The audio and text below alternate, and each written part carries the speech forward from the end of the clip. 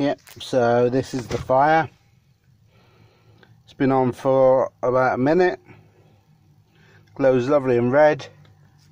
Working out some heat. You may be able to hear it.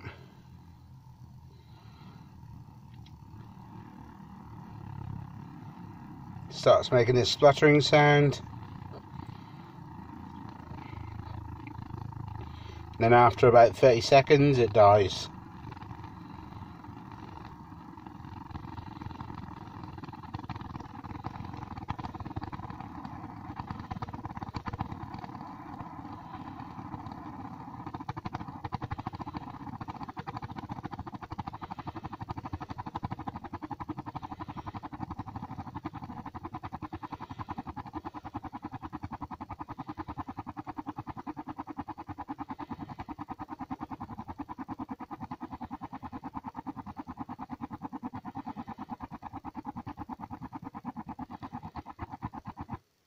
Yep, and then it dies. You have to turn it off. Take this cartridge out, put it back in again. Engage it again. Not burning your finger like I nearly done then. And then there's a choke on the side. You pull the choke out and twist this. Then it starts up lovely again.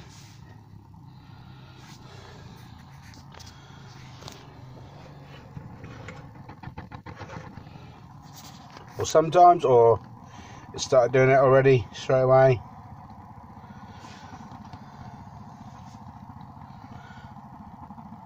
So as you can see, it's pretty pointless really, I'm going to turn it off. yeah, so I'm now going to actually stop using this it doesn't matter about having gas canisters because I can use that with my gas stove. So they're not going to go to waste. I'll probably sell this on eBay. And I've bought a 500 watt inverter. So I can run 240 volt stuff off of it.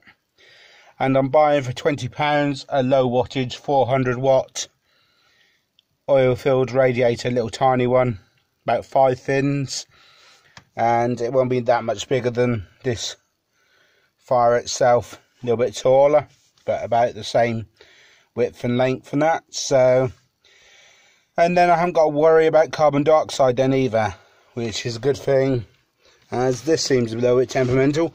We'll go fast around corners. It starts bleeping at me, so I'm a bit worried about whether that's giving me a true reading as well. So yeah, I'm going to stop using this, get rid of this.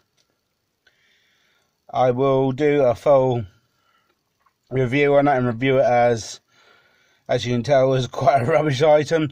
The person that I bought, the company that I bought it off on Amazon, they I will I will put even put their name in tried to tell me there was nothing wrong with it, there's nothing to go wrong with it, and tried to tell me that all I needed to do was heat up the canisters in some hot water, which means put the canisters into my stove, run my stove, which then seems to run fine anyway, heat up some water, put the canisters in warm water, and then put it in this. So it just seems a lot of faffing around for something when you just want some instant heat quickly just to keep the chill off things in here.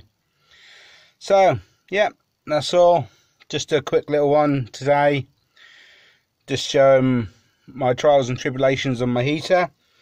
And I will, when I'm editing all this together, I will put up in the top right hand corner now the oil filled radiator that I'm getting from Homebase. So thank you very much and until next time peeps, please like, subscribe and comment below and goodbye.